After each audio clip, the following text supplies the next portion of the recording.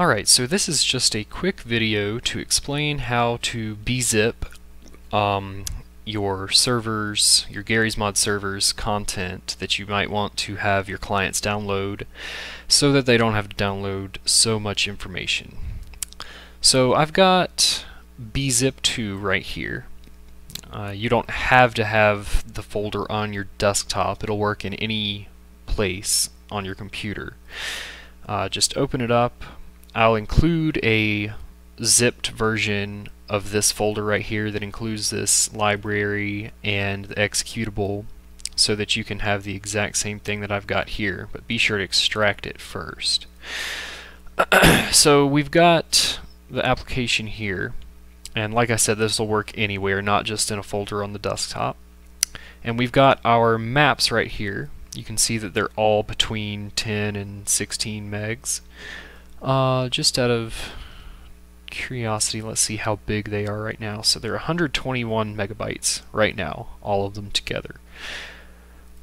And all that we have to do to compress these is to drag them onto bzip2, the executable, and it will open them.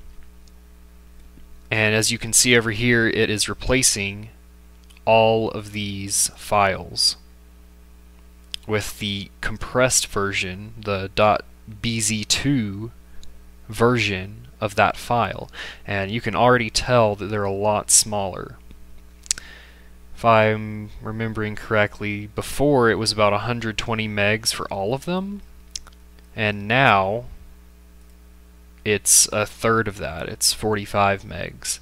So you can you can see that this is something that you really want to do at least with larger files like maps.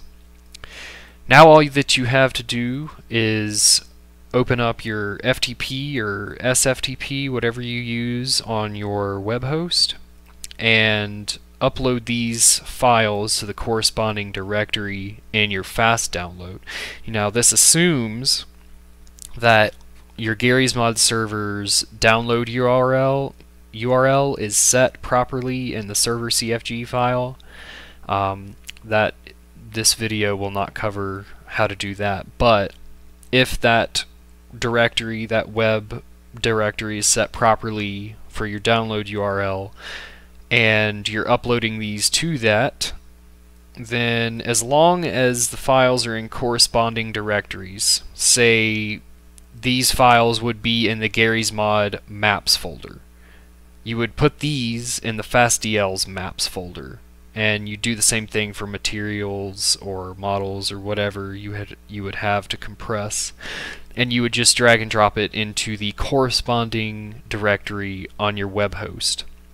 And assuming that your Garry's mod server has you know the Lua files using the resource add file function to add the files to the download list. I think it does this automatically with maps, but for materials and such, you'll need to add a resource add file um, call on that particular file to get it to download to the client.